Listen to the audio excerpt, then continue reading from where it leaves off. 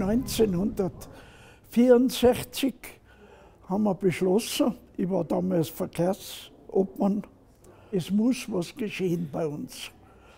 Und dann sind wir auf die Idee gekommen, einen Lift zu bauen. Wir waren die Ersten, da hat es noch kein Elmar gegeben, kein Schäfer, kein Söll.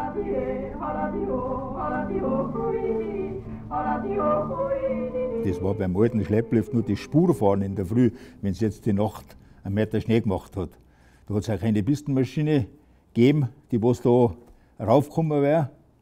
Da haben bei mir mit den Ski diese Spur fahren müssen im Schlepplift und da sind noch so Wächten gewesen. Da hat da passieren können, dass du das erste Mal nicht durchgekommen bist.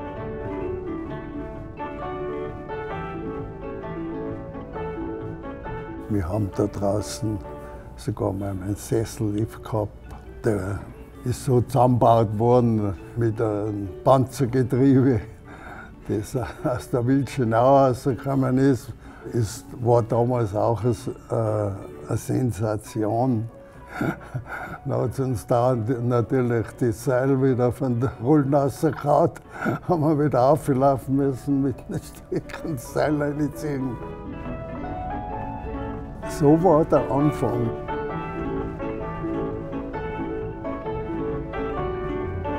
Zum Pisten präparieren hat es eine Handwalze gegeben. Ja. Hinten ist einer gefahren, vorne ist einer gefahren und so ist die Pisten präpariert worden.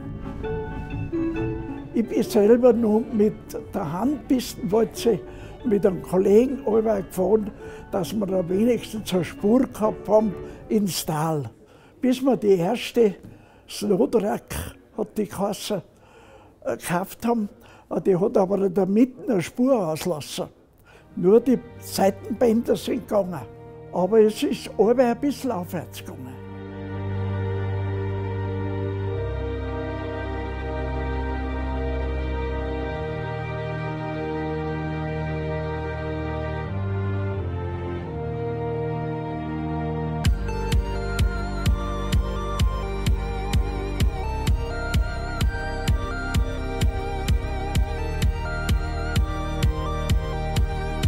Die lustige Geschichte war, in der Talstation waren zwei Kassen.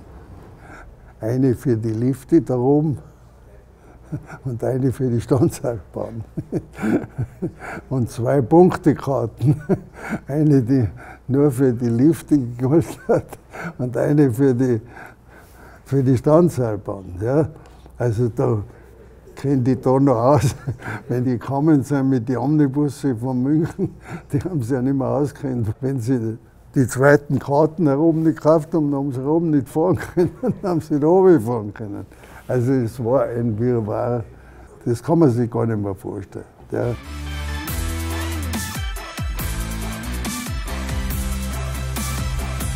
Wir Söller, wir haben bei der ganz primitiv mit so Abreißblöck angefangen mit Hopfgarten zusammenarbeiten. Da haben wir so Blöcke gehabt und wenn jemand von Hopfgarten gekommen ist, dann haben wir die Blöcke angerissen und den Briefkasten rein die sind noch im Frühjahr gezählt worden. Dass man nicht ungefähr gewusst hat, wer von Hopfgarten nach Sylt gefahren ist oder wer von Sylt nach Hopfgarten gefahren ist. Aber das, das war kein Abrechnungssystem in dem Sinn. Das war nur äh, eine Fühlung nehmen, wie wir das eigentlich hin und her fahren.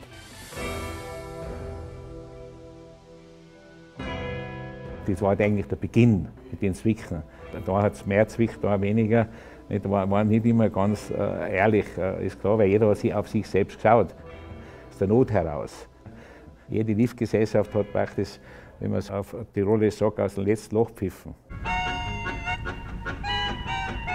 1973 war der Ölschock der erste. Damals hat es ja geheißen, dass die, die Ölreserven nur noch 11 bis 17 Jahre auslangen auf der Welt und so. Das war dann schon schlimm. In Deutschland war ein Samstag-Sonntag-Fahrverbot. Das hat uns sehr weh getan. Dann habe ich gesagt, es geht nicht so weiter. Jeder Einzelne kämpft da, jeder Einzelne hat Punktekarten. Jeder Einzelne hat Tageskarten, jeder Einzelne hat Saisonkarten. Also das kann in Zukunft nicht weitergehen. Wir müssen uns zusammenschließen. Und dann haben wir gesagt, wenn wir Einzelkämpfer sind, dann haben wir keine Chancen auf dem Markt. Sparen wir uns die Arbeit und die Kletzerei und machen gleich Nägel mit Köpfen. Das war der Anfang des Großraumes, wie man damals geheißen hat. Keine Gliftgesellschaft hat Geld gehabt. Das war eigentlich mal das, die Hauptsache.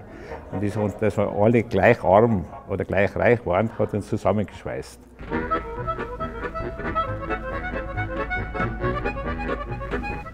Dann ist 1969 in der Gemeinde und im Tourismusverband die Idee aufgetaucht, Hartkaiser.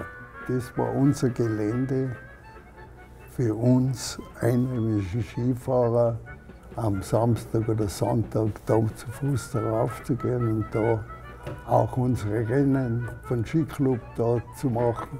Und dann ist an mich herangegangen worden, ob ich das übernehmen würde. Und gedacht war ein Sessellift, ein Doppelsessellift.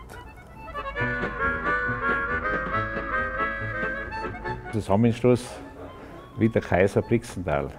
Es war ein großes Ereignis, weil seinerzeit hat es ja solche Zusammenschlüsse überhaupt nicht gegeben.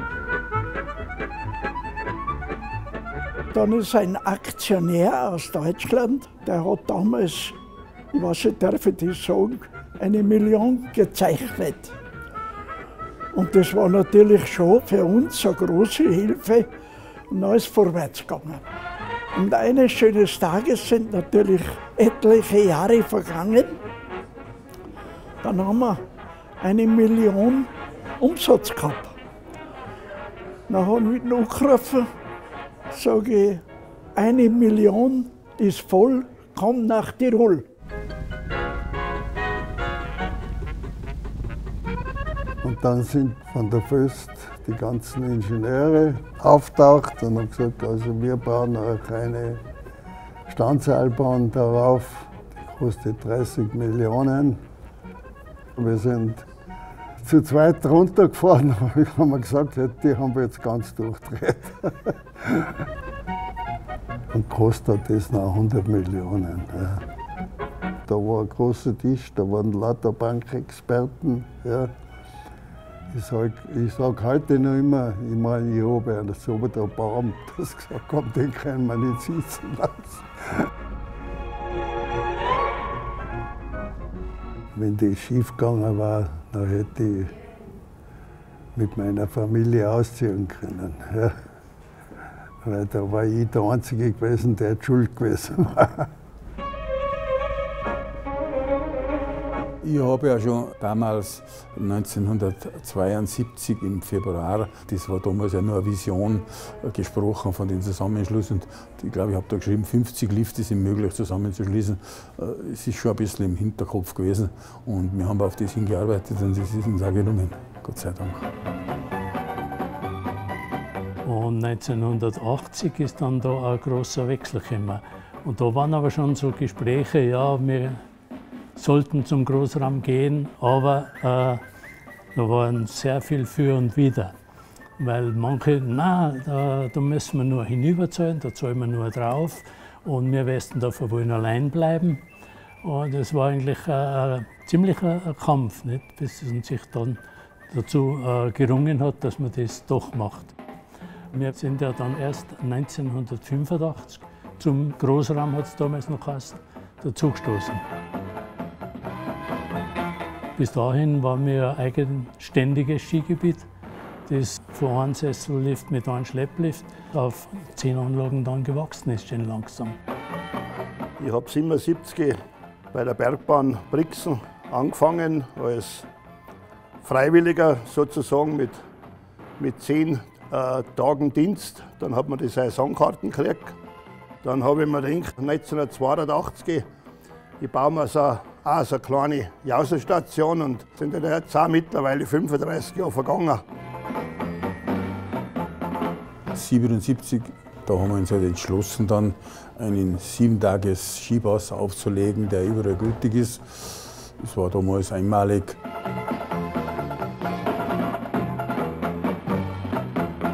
Die haben uns ja ausgelacht. Es hat es ja noch nirgends gegeben. Bei den Seilbahntagungen haben die gesagt, ja, wer macht denn ihr das? Haben die jetzt alle gesagt, ja, ja, wir dann gar nichts, wir dann gar nicht einmal verrechnen. Dann haben die gesagt, die, die spinnen ja. Die, die, wie soll sowas gehen? Ja? Der Gedanke war einfach, sich zusammenzuschließen, nicht einzelne Orte, sondern immer gemeinsam. Weil es andere Gemeinden und andere Tourismusverbände und Lift werden gestritten und wir waren uns immer einig. Es war eine gewisse Freundschaft. Freundschaft und ein gewisser Zusammenhalt. Da hat es keinen Neid gegeben. Es war schon ein Miteinander immer. Oft hat es natürlich länger gedauert. Zusammensitzen und ein bisschen Alkohol können natürlich die Leute zusammen. Die Zunge wird leicht, äh, die, die, die, vielleicht Voreingenommenheit werden abgebaut. Und allem dann waren eigentlich eher Freunde als wir Konkurrenten. Und wir haben uns dann auch immer wieder geeinigt und letzten Endes sind wir dann immer auseinandergegangen, wenn es vielleicht auch spät in der Nacht war, sodass wir uns auf Deutsch gesagt in die Augen schauen haben können. Ja. Dann kennt man alle Besonderheiten von den Menschen, wer jeder ist. Und äh, da entwickeln sich natürlich schon eigentlich dann auch tiefere Beziehungen. Und es war eine super Zeit, muss ich sagen. Es war eigentlich eine kameradschaftliche Verbindung.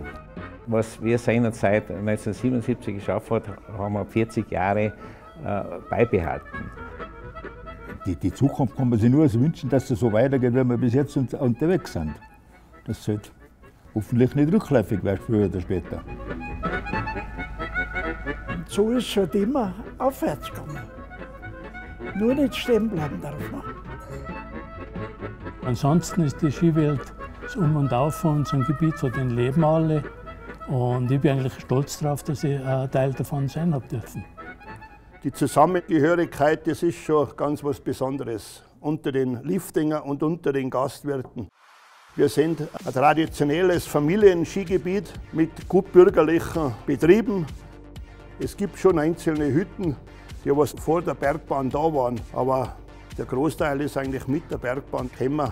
Und ich sage aber, die Bergbahn hat uns die Eckpfeiler gemacht und dazwischen in der Mauern müssen jetzt andere. Und da bin halt ich ein kleiner Teil, was da einen Beitrag leistet. Da. Für die Zukunft, was mir ich wünsche, dass die Zeit so bleibt, wie es momentan ist. Dass es so weitergehen soll, ja, wie bis jetzt. Dass wir am Boden bleiben. Aber ich glaube, dass diese Skiwelt Wilder Kaiser Brixental hat immer noch den Geist, den wir seinerzeit die Pioniere äh, gesehen haben, dass der, dieser Geist weiterlebt. Heute ist die Jugend überall, unsere Nachkommen überall vorn dran. Ich bin sehr froh und stolz, dass die Jungen so gut arbeiten. Und ich hoffe, dass die Jungen so weitermachen.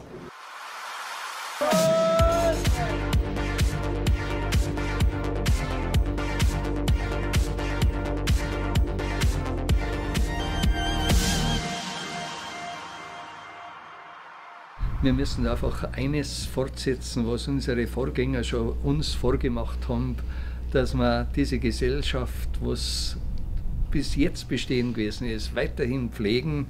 Es ist ja in der Skiwelt fast alles gemacht worden und Hansjörg, da gebe ich dir noch ein bisschen das Wort, was wir nur besser machen können, was ja fast nicht möglich ist.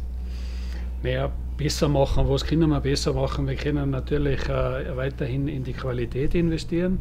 Wir sind äh, genau. weltweit das zum besten, ökologisch besten Skigebiet ausgezeichnet worden und das freut uns natürlich riesig, weil das ist jetzt der Zukunftstrend, da müssen wir weitermachen, wir müssen Energie sparen, wir müssen mit der Umwelt natürlich sorgfältig umgehen, das machen wir und da werden wir weitermachen und damit äh, sind auch die nächsten Jahre und Jahrzehnte gesichert und ich bin sicher, dass unsere Nachfolger diesen Zusammenhalt, so wie wir den betrieben haben und wir den auch unsere Vorgänger betrieben haben, dass der weiterhin auch so gepflegt wird, weil das macht ihn stark.